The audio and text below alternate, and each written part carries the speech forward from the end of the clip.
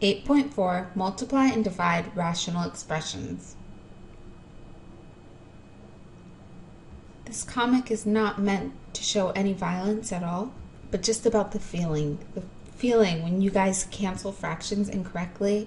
It's actually so heartbreaking. Sometimes I grade the papers and I'm like, oh my gosh, how did you do that? Algebraic atrocity. Yuck. And so don't cancel your fractions incorrectly. It just is heartbreaking to all of us. So let's start with simplifying rational expressions. If I have a times c over b times c, well then the c's simply cancel out and I get a over b. Don't confuse that with a plus c over b plus c. In this case, I cannot simplify. Do not cross out those c's. Similarly, if I have A plus C over C, don't just go crossing out those C's. Don't do it. Do not. This is equal to A over C plus C over C, which is equal to A over C plus 1. You see that? If you cross out those C's, you would have been left with A, and that definitely would have been wrong. So don't do these things. Just don't. Now I ask you to simplify. Well, we'll note the only time we could cross things out was when we got it into a totally multiplication problem. So our goal is always going to be, can we get this into a multiplication problem? Because if we can, then we can go crossing things out. As long as there's plus and minus signs, we cannot cross anything out. Let me show you what I mean. Let's try and factor the top and then we'll try and factor the bottom separately. So to factor the top, we have an x and an x. What makes a 16? A 4 and a 4, and we need a negative and a negative. And we have an x and an x. What makes a 24?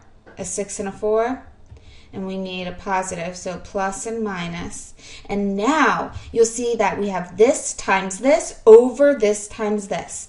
In essence, I've gotten rid of the plus signs that connect my terms. I have this quantity times this quantity over this quantity times this quantity. The only time I have pluses and minuses are within the quantities. So now I'm good to go. Now I can cross those out. You see the difference? I had pluses and minuses here. Now I've gotten rid of them. And now I just have x minus 4 over x plus 6 when you want to multiply rational expressions, well, a over b times c over d, you just multiply the top, you multiply the bottom. In addition and subtraction, you have to get common denominators. Multiplication and division are just much, much easier. So when we do this, well, we can just go canceling out tops with bottoms to simplify, right?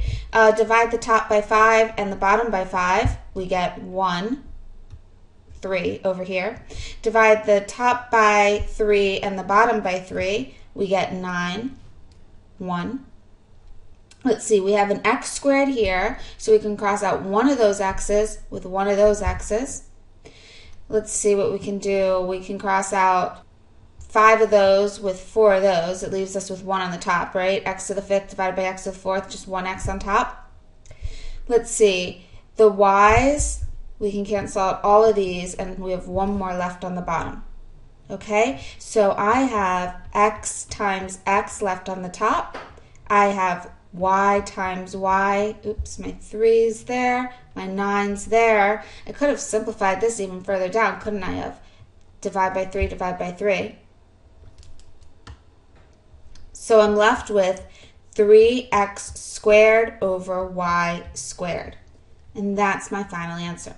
Another algebra no-no that people are tempted to do is like take the square root of the top and bottom because they see a squared and a squared and they like want to get rid of it. No, you can't just randomly do stuff like that. When you do something, it has to be meaningful and purposeful. So if I divide the top by x, I can divide the bottom by x. I can do the same thing to the top and bottom, but I can't randomly do operations. I can't randomly take a square root of the top and the square root of the bottom. That's not okay. The only reason I can divide the top and bottom by the same number is because it's in essence multiplying by 1. So really, remember that. The only thing we ever do is multiply or divide by 1 or any variation of it. Okay, so now when I go to do this problem, I'm not going to touch it until I make it into all multiplication. So factor first. When I only have the two terms up here, let's see, I see that we have the 5x in common in both of them, and so I'm going to factor that out. Again, the way I knew to factor something out is well, first of all, whenever I approach a problem, I try and factor out something first. That's always my first step. And when I just have two terms, the only thing I would be able to do is factor out something. When I have three terms, that's when I do the parentheses.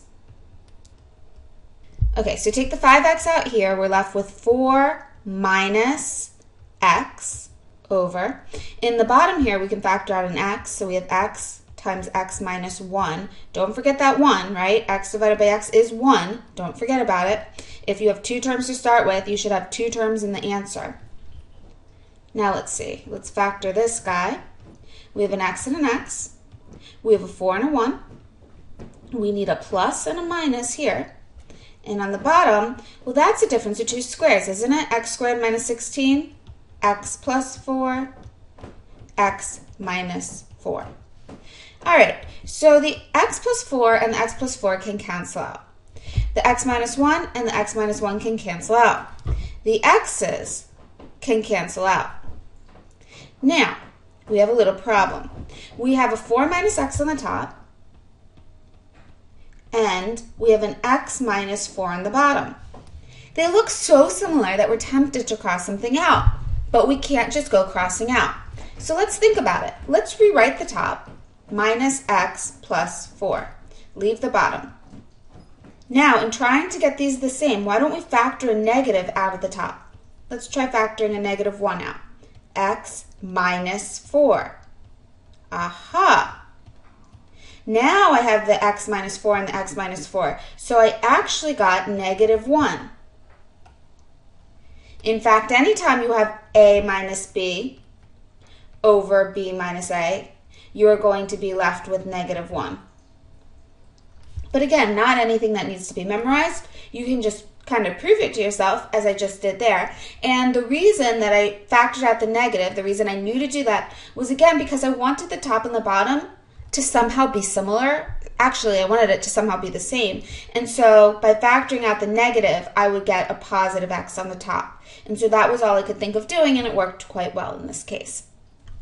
So now I know that when I cross out this with this, I'm left with negative 1. And so my answer is just negative 5. Let's go to do this problem. Leave the top, x minus 4. Now, I'm going to note something about the bottom. I really want to factor this. I know that all these problems I'm going to be able to factor all over the place. So I do notice here that this is x cubed and this is 2 cubed. So we have something of the form a cubed plus b cubed. You might remember that we were factoring a cubed plus b cubed early in the year.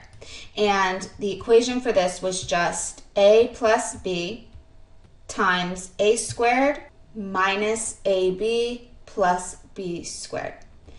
I will give you that formula. I really don't care that you memorize that personally. And so the a is just x, and the b is just 2 in this case. So we have x plus 2, and then we have x squared minus x times 2, 2x, plus b squared, 4, times, and now I'm tempted to try and factor this, except that I realize that this and this are actually identical.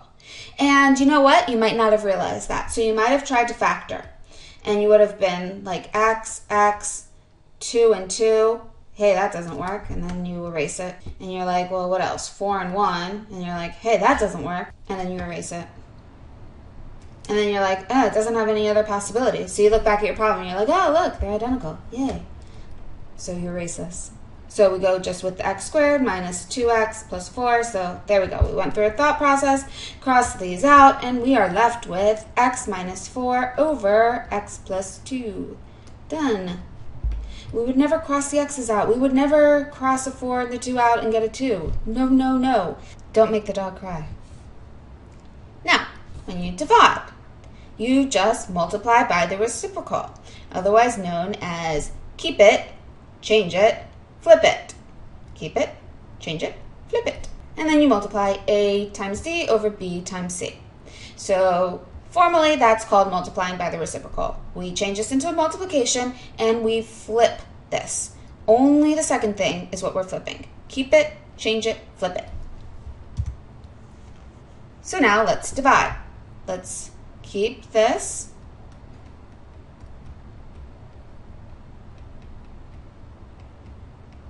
Change this and flip this.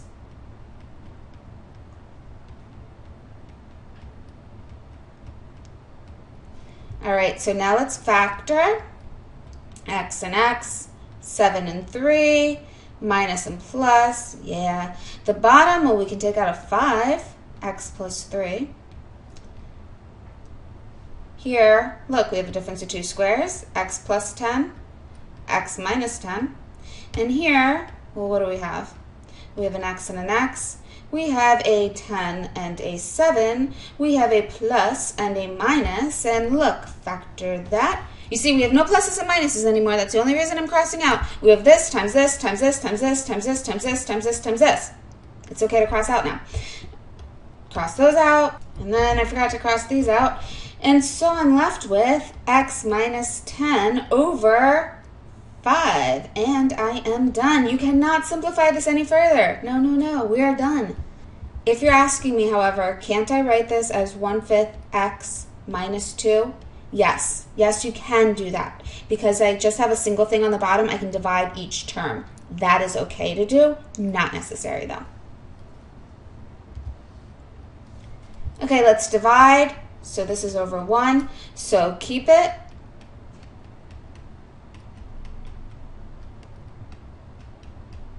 Change it, flip it.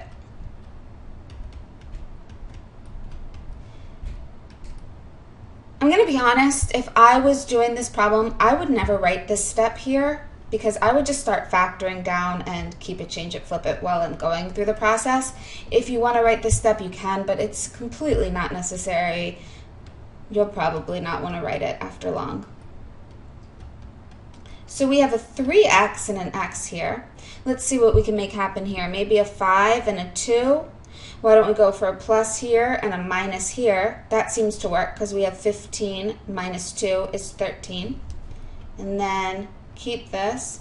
On the bottom we can factor out an x, but that's all we can do. We have 3x minus 2, but that works quite well because this is going to cancel out with this.